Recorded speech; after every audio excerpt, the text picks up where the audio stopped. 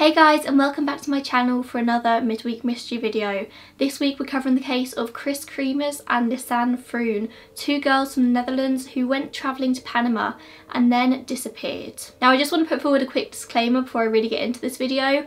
This has been very difficult to research because a lot of the sort of sources around this were originally in Spanish, then they've been translated to Dutch and then thirdly into English. So a lot of the sources have been very contradictory, a lot of the stuff is in Dutch or Spanish which like I can read a little bit of Spanish but not enough to read like a whole articles and excerpts and things. So if I have got any of the little details wrong, please feel free to correct me in the comments down below, politely as always.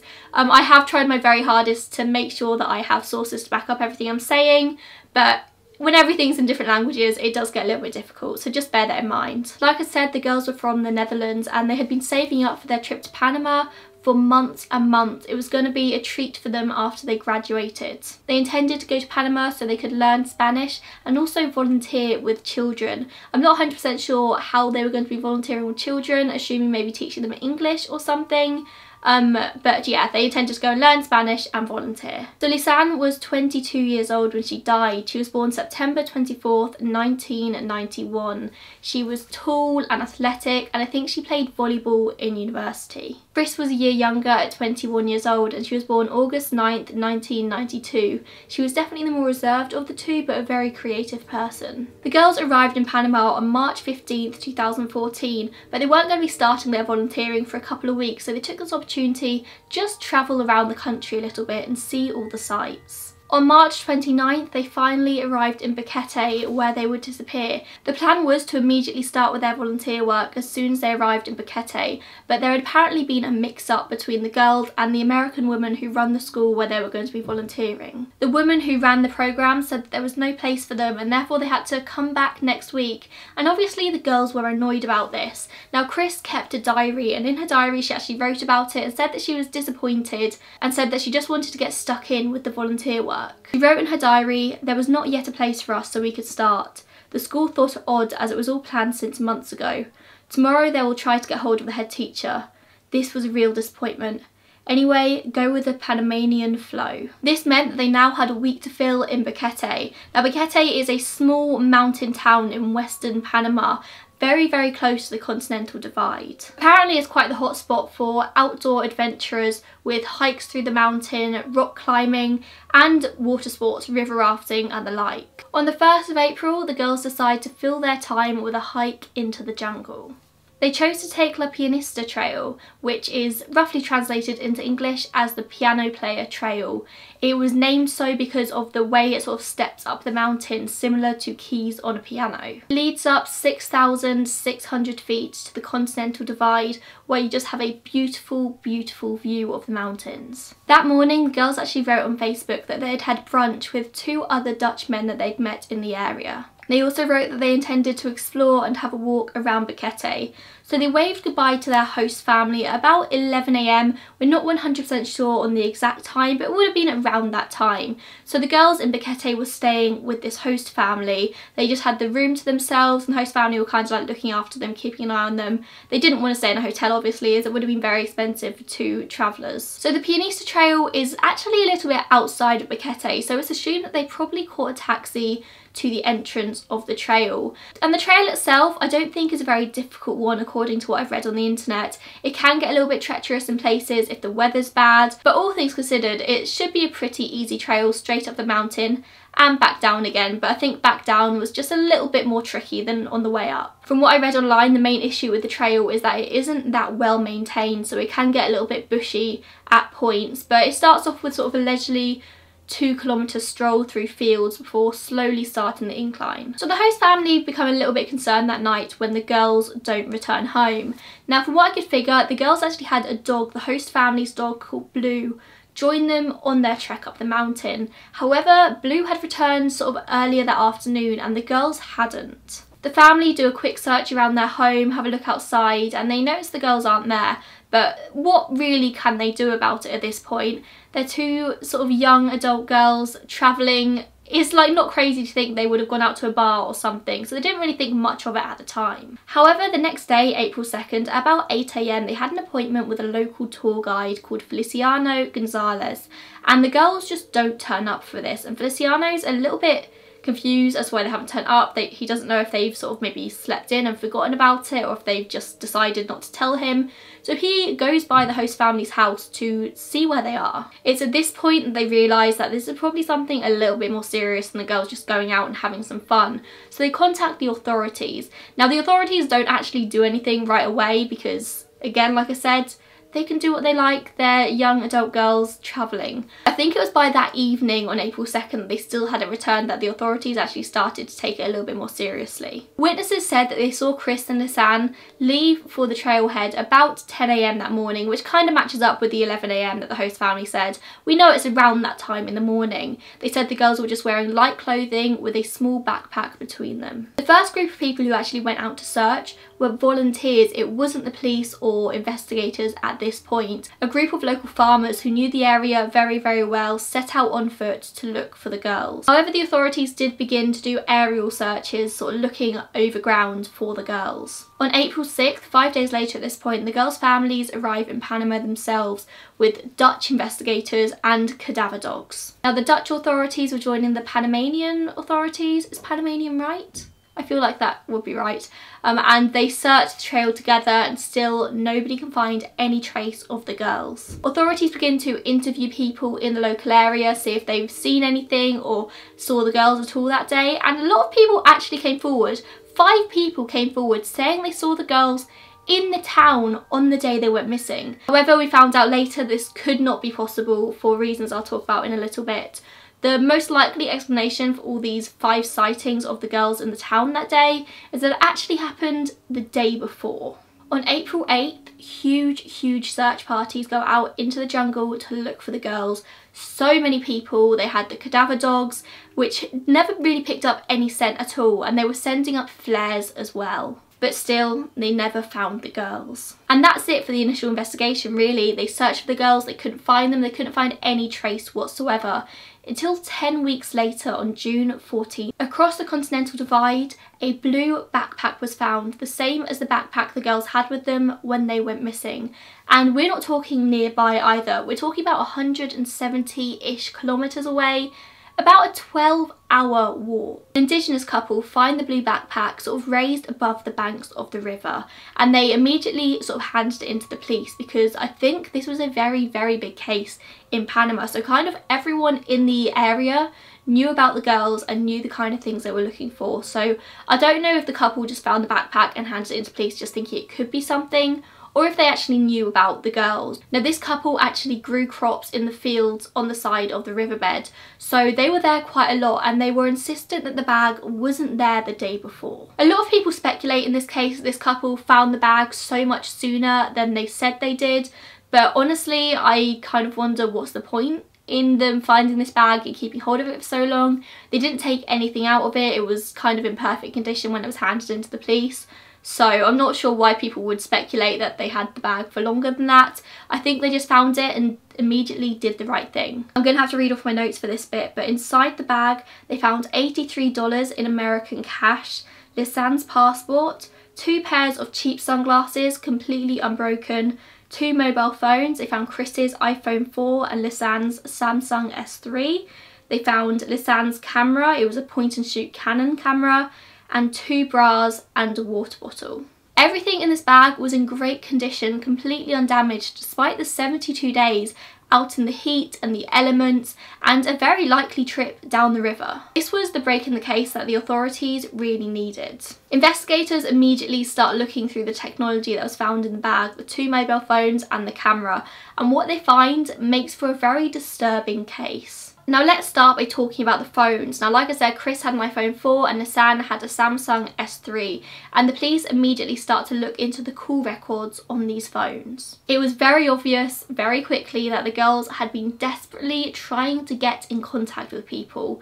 They were in trouble and they needed help and they couldn't get through to anyone. In this region of Panama, the deep jungle, of course, there wasn't any phone reception at all. The last activity on the phone showed to be on April 11th, 10 days after they disappeared. However, the first concerning activity on the phone came just a few hours after the start of the hike. At 4.39pm, the iPhone attempts to make a call to the Dutch emergency number 112. However, this doesn't go through, there's no signal, and of course, 112 wasn't the Panamanian emergency number. This is the one thing I say when you go travelling abroad to another country. Find out the emergency number first thing. It is so, so important. Obviously, this call doesn't go through, so a few minutes later at 4.51pm, the Samsung S3 attempts the same call to 112 and again there's no signal so it doesn't go through. On April 2nd there's more emergency call attempts from both phones, mostly to 112 but this day they do also try to call 911 as well. On the 3rd there's a 911 call at 9.33am and the call connects just for a couple of seconds before breaking up. They never even got to speak to anyone. On the 5th it seems like the Samsung S3 battery completely dies and it's not used again. The iPhone isn't used to make any emergency calls, but it is turned on multiple times to check for signal. Now this happens a lot. Both of the phones are turned on intermittently to just check for phone signal and then they're turned off again. So clearly they're trying to preserve their battery and they're just sort of turning on at the same time every day to check for signal and they never have any luck. On the 6th is where things start to get even darker here. There's multiple incorrect PIN password attempts on the iPhone. Somebody's trying to get into the phone and it just isn't working. And this iPhone never received the correct code again. So my small theory here is that by this point something had happened to Kris. Either she was dead or incapacitated at this point. And so Lisanne was trying to get into the iPhone. Now she didn't own an iPhone herself so maybe she didn't know that you can just sort of swipe right and click the emergency call button. So she's just trying to get into the phone and it's not working. Although Clearly she did figure out eventually because more 911 calls start to go through, of course, no signal. Between the 7th and the 10th of April, 77 emergency calls are made and not a single one connects. On the 11th, the iPhones turn on at 10.51am and is turned off again at 11.56 and then it's never touched again. So that's the phones. However, the camera tells its own story as well. Obviously, the girls were taking their own photos throughout the trip and on this hike, it was no different. So the camera showed that the girls reached the top of the trail at about 1pm from the angle of the sun in the sky. And there were photos of both the girls at the peak looking very happy and very excited with themselves. And then there are more photos and the photos gradually get a little bit creepier and creepier as time goes on. This is irrefutable. The girls reached the peak of La Pianista about 1pm that day. So all of the witnesses saying they saw them in town that day Absolutely no way. The girls were at the peak. There is photographic evidence of this. About 2pm, another photo is taken of Kris in a gully. She just looks like she's happy and exploring. So obviously at this point, the girls should have been descending back down the trail. And I don't know if this gully was back on the trail on the way down or if by this point they'd started to venture off. Whether something scared them so they felt the need to go off into the jungle or they just thought they'd be adventurous and go for a look around and they got lost. All of the tour guides in the area will tell you that this trail is fine as long as you stay on it. If you go off of it, all the jungle looks the same and you will get lost. I think it is likely the girls just went off to do some exploring and then couldn't find their way back. I mean, they were at the peak of sort of the trail. I'm not sure if it was the peak of a mountain, but it was obviously a very high point. So if they'd maybe continued walking down that way and ended up down the other side of this mountain, it may have been that they just couldn't get back up and maybe that is why they ended up calling the emergency number just two hours later. It could have been they just realised that there was no way of getting back up there and getting to the trail. Maybe it's likely as well that something had happened to one of them in the two hours. Maybe one of them got injured or hurt their ankle or something and just couldn't get back down. Um, but this is a very popular trail. About 90 tourists a day go up La Pianista. So if they got injured on the trail, it's very likely that they would have been found. Um, so I think they just wandered off and something happened, whether they couldn't get back up or they were injured. After this, the camera goes dormant for seven days and it's not picked up again until April 8th, late at night. About 1am, 90 photos were taken and of these photos, about 87 of them were just dark. They weren't completely black, but they were dark, so much so that you couldn't figure out what the photos are of. Now these photos have never actually been released to the public um, but from what I could gather on the internet they're sort of taken in a kind of code way. So it's like a photo's taken close up to something and then a little bit further away then a photo's taken pointing upwards and then that sort of pattern just keeps repeating.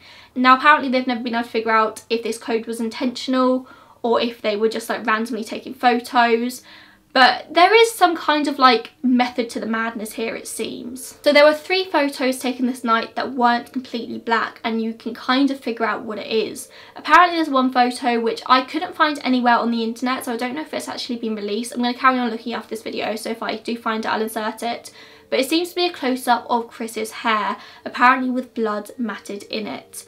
Um, there was another photo of the top of a rock and on top of this rock are two sort of sticks. They don't look like particularly sturdy sticks but they're just sort of like pulled off a tree with pieces of plastic bag tied around them. Now were the girls using these pieces of plastic bag to maybe signal for help, maybe they were waving them.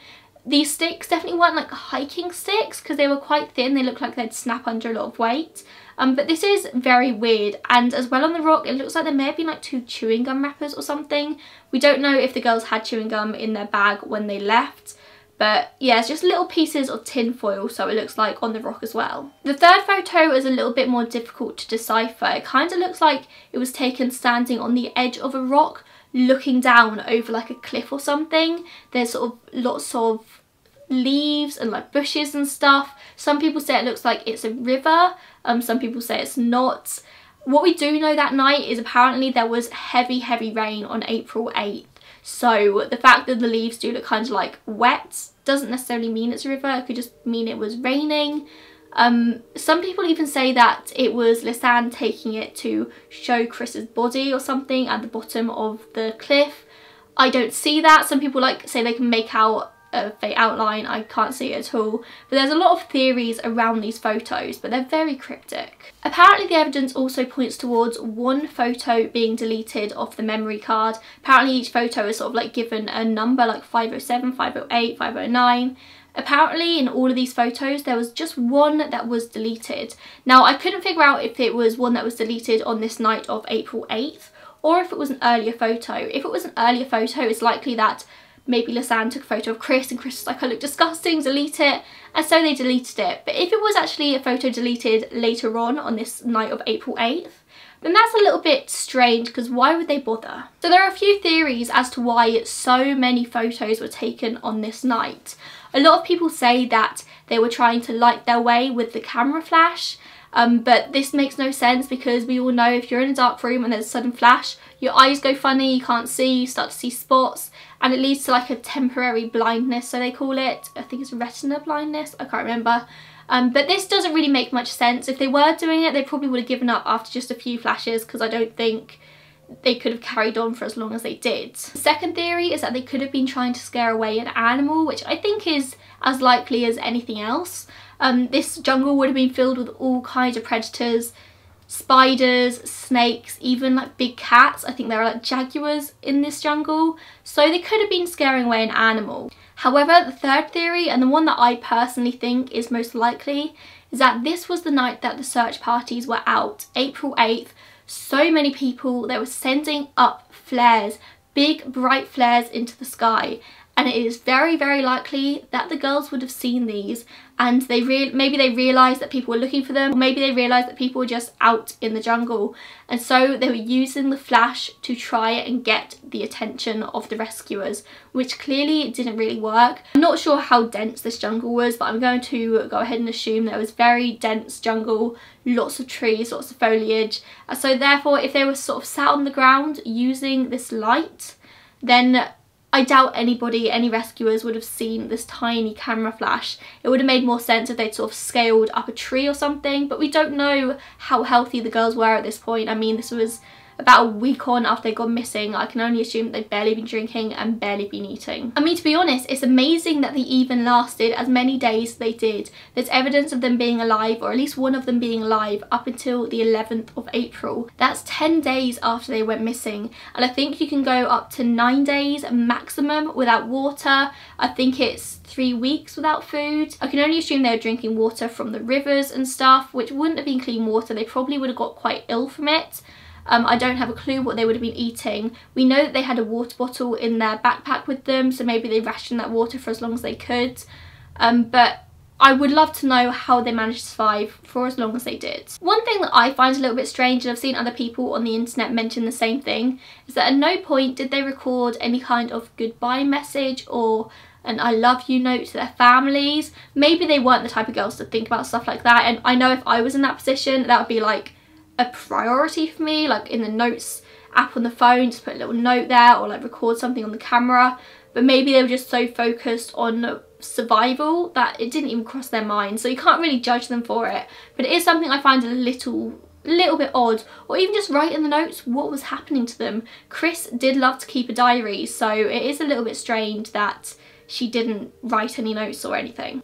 So let's go back to the backpack. The discovery of the backpack led to brand new searches all around the area in which it was found. It was found near a little village called Alto Romero. This search led to Kris's shorts being found neatly folded and zipped up on a rock by the river. This was a few kilometres away from the backpack and this is just another element of strange and creepy to add to this already traumatizing story. It seems they followed the course of the river. That's what a lot of authorities and investigators think in this case.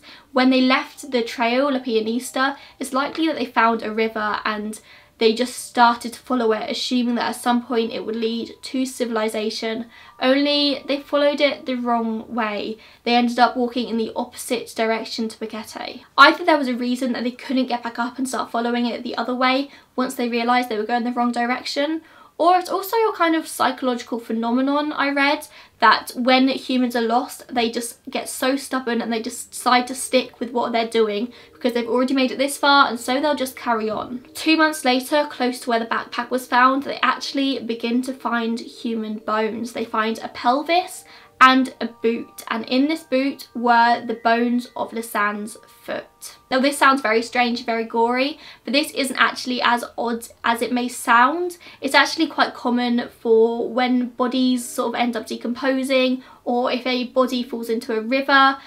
It's quite often that boots with sort of bones still in are the first thing to be found because the boot protects the flesh inside. But the pelvis bone that was found was completely clear of flesh. It was just clean.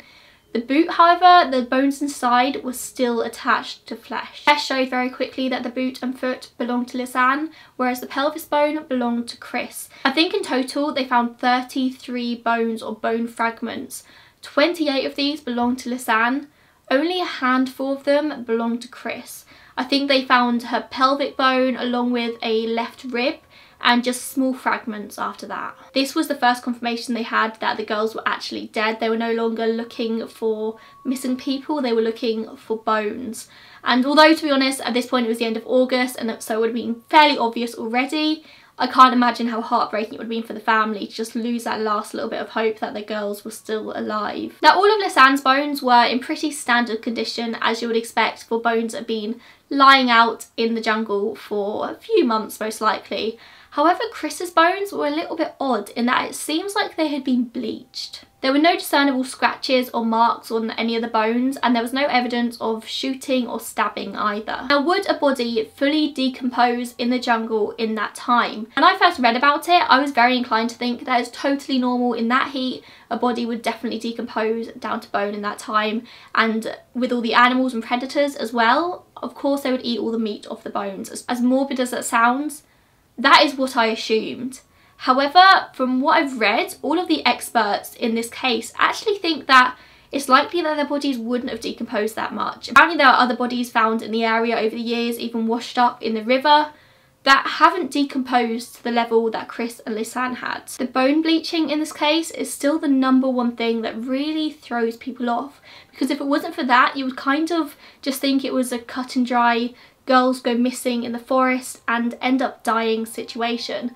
But the bone bleaching is unnatural and unusual. A lot of people believe that there was a third party involved in the girls' deaths. Now apparently there was actually no effort in the investigation made to determine if the bone bleaching was natural or man-made and apparently a lot of people say that bone bleaching is something that's done a lot by Mexican cartels a lot of people say that's exactly what they do to bodies after people have been killed and therefore a lot of people suspect that maybe the Mexican cartel were involved in this but why? You would expect bones found in the middle of the jungle even if they have been bleached to have been sort of ravaged by animals but again they were kind of spotless. Apparently quicklime was used a lot in the area to help restore balance to the rapidly depleting rainforest soil but also no soil samples were taken where the bones were found. Now are the Panamanian authorities trying to cover something up here or were they just bad at their jobs? If quicklime was found in this soil, then that could explain a lot. But if it isn't found in the soil, then maybe they need to start looking into quicklime suppliers in the area or people who have recently bought it. But they just wrote this case off as a hiking accident right away. Now the prosecutor cited that the girls died by being dragged into the river. That was Panama's official stance on the death, that they were dragged by some kind of predator, I can assume, into the river. But this makes no sense because there were no abrasions on the bones. Or their secondary theory was that the girls were killed by wild animals. Like I said, there were snakes, spiders, big cats, plenty of dangerous animals around. Um, I think I read that one of the world's most deadly snakes is found very commonly in the Panama jungle around this area. So it's I don't think it's completely off the charts to say that they could have been killed by a wild animal. I think it's very, very possible. But this doesn't really explain the bone bleaching. And if they just had taken soil samples from the area and seen that there was phosphorus or quicklime in the soil, could have explained a lot, but they didn't. Apparently there have been other reports of murder in the area around the time that the girls disappeared and this leads a lot of people to think that there was a possible serial killer on the loose. However, let's say if this was the case and the girls were attacked at the top of the trail and dragged into the jungle, how did they still have their phones on them and how did they manage to keep calling for authorities constantly? I mean, even though there is no service in the jungle, if they're being hunted down by a serial killer, you would think they'd maybe take the phones off them just in case. But their phones are on them the entire time, their cameras on them the entire time. I think it does look like at this point they did just wander off into the jungle and get lost. But that isn't to say that that's how they died. If it was a serial killer, you would think that they would just bury their body whole and not go to the effort of bleaching bones. Like I said, only Kris's bones were bleached. Lisanne's were totally, totally fine. I do wonder maybe if there was something in Kris's sort of like genetics that made her bones susceptible to bleaching, maybe from the sun or from whatever was in the soil. Maybe her bones were particularly susceptible to it. I don't know, I'm not a scientist and just sort of throwing ideas out there. If any of you are scientists would know anything about that, please leave me a comment down below. They're like my favourite comments to receive when I'm not sure on something like technical and you guys always come through. It's always great. Apparently there are also 30 unidentified fingerprints on the contents of the blue backpack but the authorities never cross-checked these fingerprints against the people who were actually handling the items in the backpack so they don't know whose fingerprints are whose who was unauthorised to be touching this stuff and it's very very likely that if the girls were stalked and hurt by someone that their fingerprints would be on this stuff but nope. Now we just have some questions to ponder over, things that we don't really have answers to but could be interesting to talk about in the comments. So number one question obviously is how did the girls end up off the trail? Did they want to explore? Were they forced off the trail? Is there a reason they ended up going off? I personally more inclined to believe that they just wanted to explore further um, but again, you don't know. At what point did they realise they were in trouble and why didn't they just turn around? I mean, I've spoke about this a lot in this video, but that is one of the main things that really baffles me. Why didn't they just turn around and start walking the opposite way again?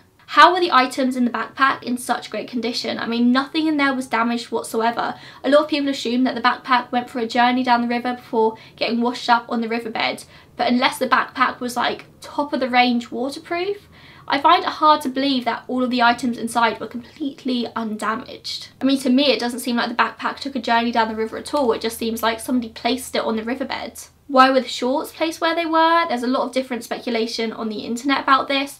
A lot of people say that Kris's shorts were folded and placed on the rock because this is the place where Kris died and Lisanne carried on on her journey.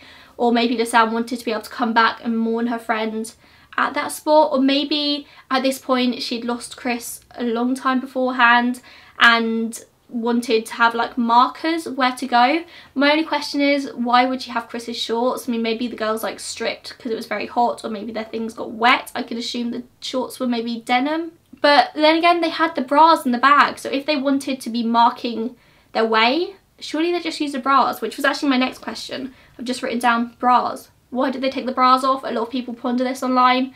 To be honest, if I was stuck in the jungle for 10 days, I would probably have taken my bra off a long time before as well. How did they survive so long is a big, big question for me because it's very likely they would have got ill from drinking the river water very quickly.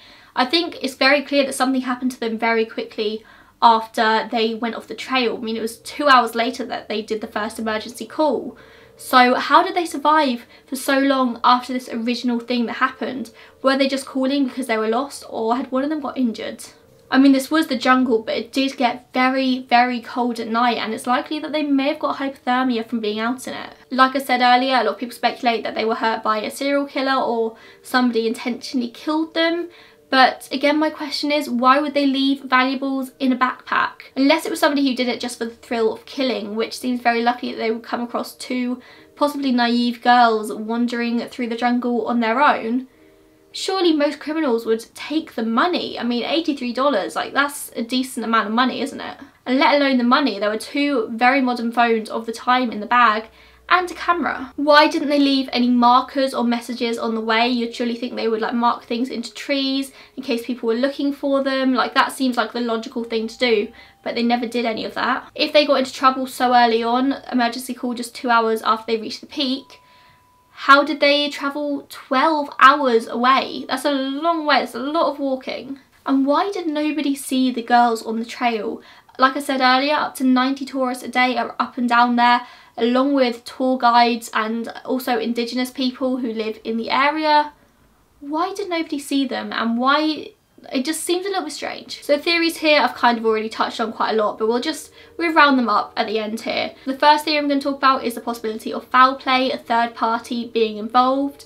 Maybe the third party was with them the entire time from when they set off at the bottom of the trail up and maybe the third party was with them as they ventured off into the jungle. However, there were no photos of a third party unless that one photo that was deleted possibly was. I don't know, there's nothing in the photos of the two girls that would suggest there was another person with them either. I know a lot of people will be thinking at this point about the two Dutchmen that they'd had dinner with or brunch with earlier in the day.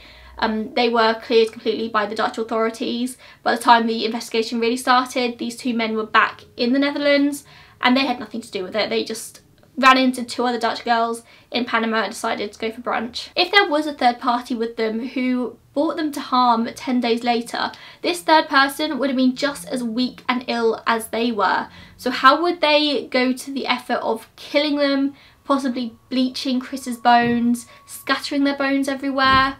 It just doesn't make any sense. I mean, clearly if they were murdered, the bones were bleached and destroyed to hide any evidence. It, but it just seems like an extra step that isn't really needed. Just hide the bodies in the jungle or bury it. I'm, I'm sure there's lots of other ways to hide a body in the jungle rather than bleaching the bones and scattering them everywhere. And also, like I mentioned, what killer would allow them to have their phones on them and continually call for emergency services? A lot of people say that the tour guide, Feliciano Gonzalez, who was meant to meet them on the 2nd, is very suspicious. Apparently, he had a lot of photos with younger tourists on his Facebook and stuff like that.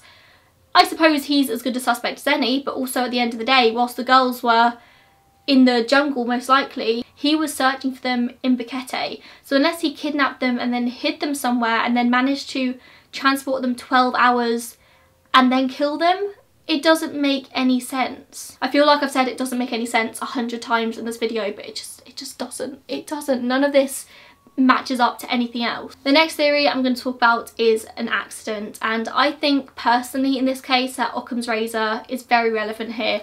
Occam's razor is the simplest solution, tends to be the correct one and the simplest solution in this case is that the girls just wandered off the trail, got completely lost and just started to walk through the jungle and eventually ended up perishing and animals got their bones and sort of destroyed their bodies. Lisanne's foot, still intact in the boot, did show signs of possible fracture or maybe it had been broken.